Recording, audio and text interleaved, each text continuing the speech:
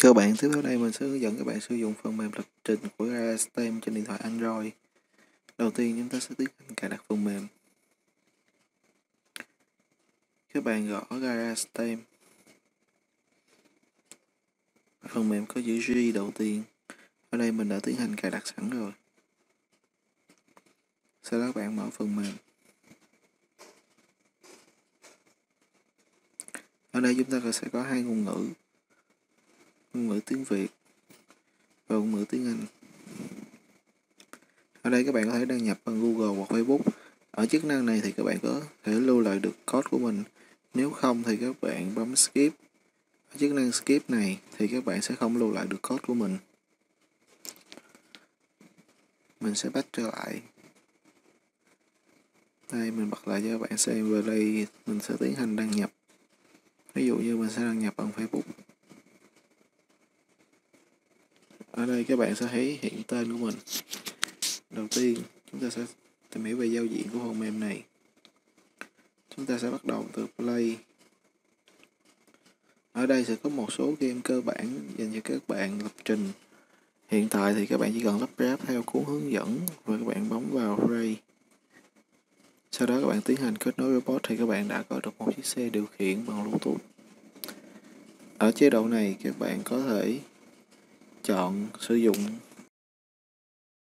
điện thoại của mình để điều khiển mà không cần phải nhấn nút.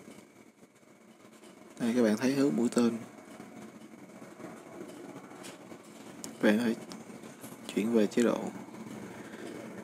Các bạn bấm connect car và nó sẽ hiện những con robot gần mình nhất. Thì các bạn lưu ý là ở trên mỗi con robot của STEM đều có mã số thì các bạn nhìn phía sau con Bluetooth để các bạn biết được mã số của con robot mình đang là số mấy.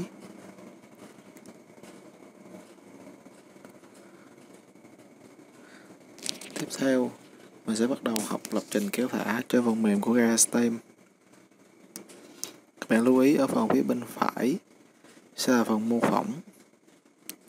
Ví dụ như mình sẽ cho đi thẳng về phải các bạn bấm để xem demo để lặp lại được chu trình này thì mình kéo thêm vòng loop các bạn thử lại nhìn xem demo ở chế độ này thì các bé có thể học lập trình kéo thả và mô phỏng trực tiếp trên phần mềm của GarageStem. Tiếp theo đó thì chúng ta có thể build được một con robot bất kỳ. Ở đây à, STEM chúng tôi cung cấp rất là nhiều mẫu robot. Từ những loại thú đơn giản, chúng ta không sử dụng mạch điện, đến loại xe tải đến loại robot đấu kiếm, máy bay, vân vân. Khi các bạn bấm vào một hình bất kỳ, thì sẽ hướng dẫn các bạn lắp ráp con robot đó như thế nào. Từng chi tiết linh kiện này đều có trong bộ robot của STEM.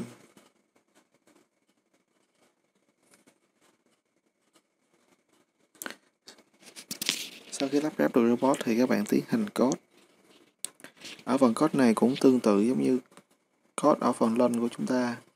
Nhưng ở đây chúng tôi sẽ có được nhiều cảm biến và nhiều loại động cơ hơn.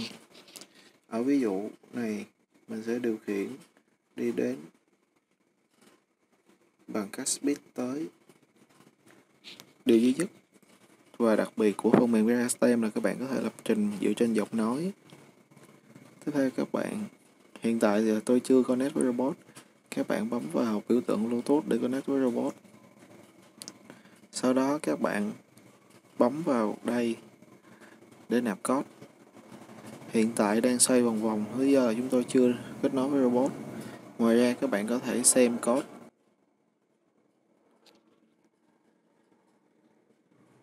lại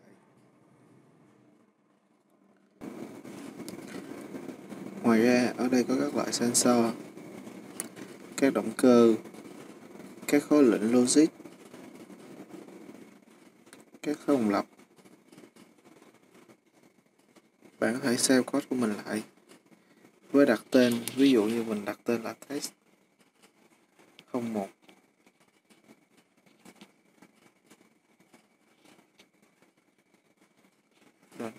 ok.